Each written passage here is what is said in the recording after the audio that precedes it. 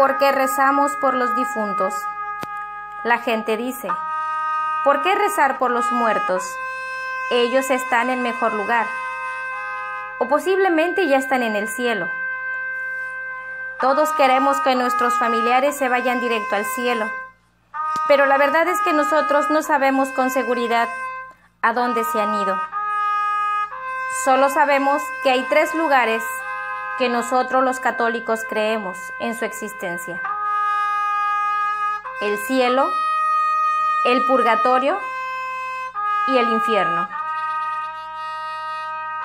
Solo sabemos que en el cielo no puede haber imperfecciones, aunque sabemos que si llevamos una vida de acuerdo a la ley de Dios, muchos podemos no merecer el infierno.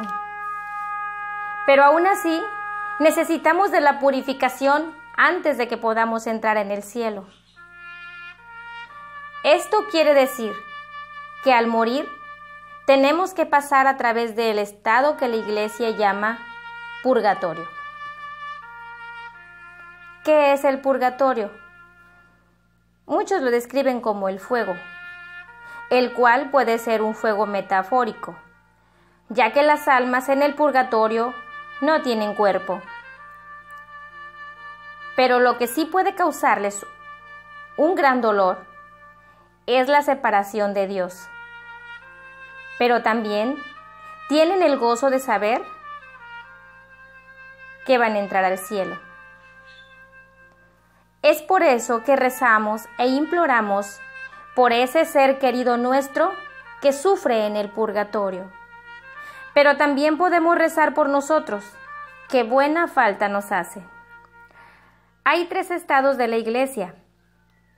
Los que estamos en la tierra, a lo que llamamos iglesia militante, a los que han muerto y están siendo purificados, a lo que llamamos iglesia purgante, y por los que están en la iglesia con Dios, a lo cual se le llama iglesia triunfante.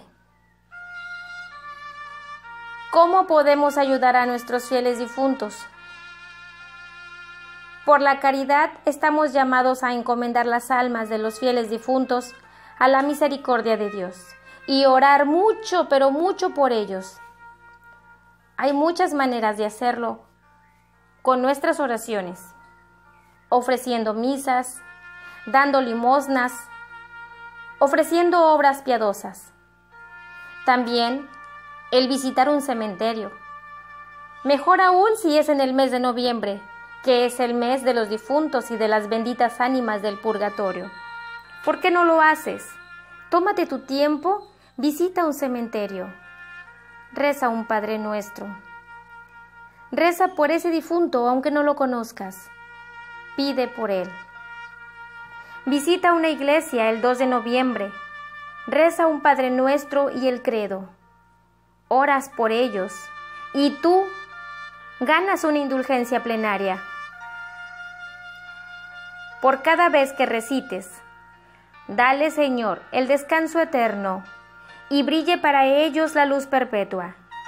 Que las almas de los fieles difuntos, por la misericordia de Dios, descansen en paz. Amén. Con esto, te ganas una indulgencia parcial. Nunca dejes de orar por los difuntos, porque puede haber un alma que mucho necesite de tu ayuda. Entérate que algún día nosotros mismos podríamos necesitar las oraciones de los vivos. Quienes van al cielo, al purgatorio o al infierno. Las personas que en vida hayan aceptado y correspondido al ofrecimiento de salvación y se hayan convertido a Él, se dice que al morir, si se encuentran libres de pecado, se salvan y van directo al cielo. Se reúnen con nuestro Señor y comienzan una vida de gozo indescriptible. Bienaventurados los limpios de corazón, dice Jesús, porque ellos verán a Dios. Mateo 5, versículo 8. Quienes hayan rechazado el ofrecimiento de salvación que Dios hace a todo mortal, o no se convirtieron mientras su alma estaba en el cuerpo, tendrán lo que ellos eligieron, tristemente el infierno, donde estarán separados de Dios por toda la eternidad. Y los que sirvieron al Señor, para que al morir no estén aún plenamente purificados de sus pecados, irán al purgatorio. Allá Dios en su misericordia infinita purificará sus almas y una vez limpios podrán entrar al cielo. Y ya que no es posible que nada manchado por el pecado entre en la gloria, nada impuro entrará en ella. Apocalipsis 21, 27.